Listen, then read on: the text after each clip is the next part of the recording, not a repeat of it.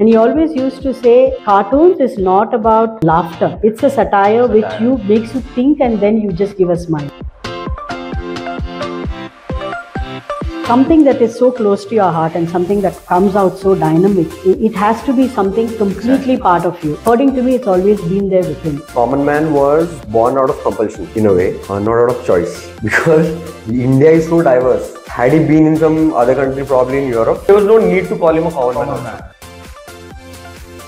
So this was a tribute for the two brothers that complemented each other, one as an artist and the other as a writer. R.K. Narayan started writing. By then he realized his younger brother is an artist. Hmm. So he started telling him that whatever I write, you have to sketch. The first book that got published of R.K. Narayan, Swami and Friends, mm. that got world recognition. Till the last article of R.K. Narayan, it was only Laxman who has sketched all his work.